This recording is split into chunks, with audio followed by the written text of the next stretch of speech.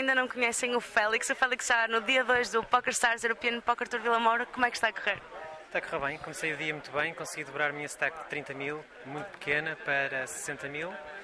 Eh, e agora estou reduzido a 50 mil, eh, muito abaixo da média, mas estou a gostar imenso de cá estar.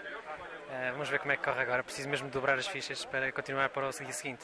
E a tua mesa é muito complicada, alguns profissionais. Eh, acho que são quase todos profissionais, tenho quatro jogadores do Poker Stars, portanto se quer dizer alguma coisa, Eh, mas é uma mesa divertida e vou conseguindo roubar algumas blinds sempre que posso e estou à espera de um, de um par alto para, para fazer all-in e um call também.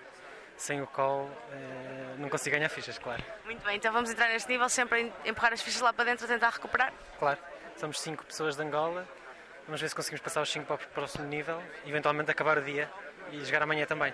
Muito bem, nós vamos continuar a acompanhar-te e vocês já sabem, o Félix, o pessoal de Angola e todos os portugueses estão no Live Report do PokerPT.com.